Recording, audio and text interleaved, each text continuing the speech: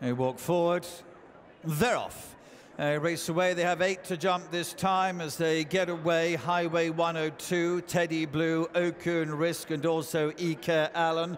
And Rubaud towards the right in the purple colours amongst the leaders. They clear number one. Uh, last year's winner, Glory and Fortune, is frankly the back marker. Monviel and company with Glorious Zoff and also Faivoir towards the back of the field.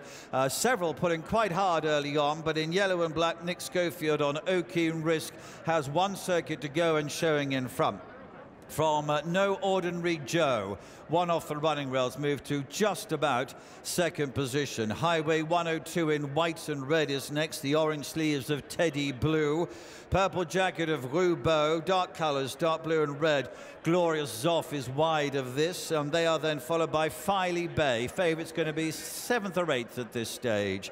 In company with Restitution in light blue, Tritonic and Master Chewy behind these as they come to the second, which is the first over on the far side. Uh, they are then followed through by Faivoir, and behind Faivoir is Ike Allen, the one with the plain white cap in the yellow and green hoop jacket. Yorksea is now just about the back marker. Glory and Fortune with him as they jump over uh, the third flight. Uh, one wide on the course there is Glorious Zoff. Aucunrisque in the yellow and black jacket, though still just about has the advantage. Orange sleeves of Teddy Blue, red sleeves and a white jacket of Highway 102 are in prominent positions. Filey Bay not far behind those, also banging contention is No Ordinary Joe. Uh, behind those in the light blue is Restitution.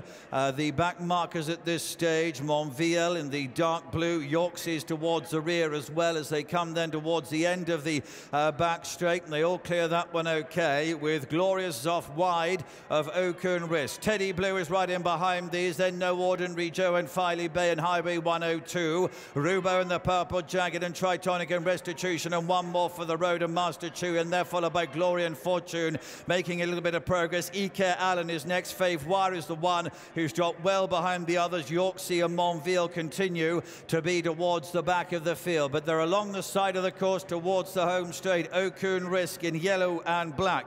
Glorious Zoff in dark blue and red. Two lengths behind those is Teddy Blue. And then comes No Ordinary Joe and Filey Bay together in fourth and fifth positions. Highway 102, Rubaud behind those to Master Chewy and Tritonic. Uh, the noseband of Gloria Fortune picking them off. Behind these is Restitution and then Monviel as they jump the third last in the Betfair hurdle. It's still Aucunrisque about a length and a half ahead. Teddy Blue has moved into second position. One from the right, no ordinary Joe. Here's Filey Bay, the green cat, the white star, and it coming into it very strongly. He's now taken second position on the favourite as Aucunrisque is at the second last with a lead of only narrowly about a length or so to Filey Bay in second position. Teddy Blue behind this to no ordinary Joe Master Chewy, and then comes uh, Rubaud as they move down towards the last then at the final flight nearest to us is Filey Bay and Donagh Meyler. Furthest from us is Aucunrisque in the yellow and black colours, the long-time pace setter with Nick Scholfield. They'll be wide apart. They're well clear from Teddy Blue. Into the closing stages they come. Nearest to us is Filey Bay. Furthest from us, trying to battle him off, is Aucunrisque. Very tight between the two. Aucunrisque and Filey Bay. Teddy Blue will just hold third to his stablemate Yorksea, has moved into fourth. Monviel, Master Chewy and Highway 102 behind those. Nick Scholfield, he just won the Betfair hurdle. Well done. Yeah, thank you. Um, yeah, thanks for Bet Goodwin and Chris Gordon and obviously the horse.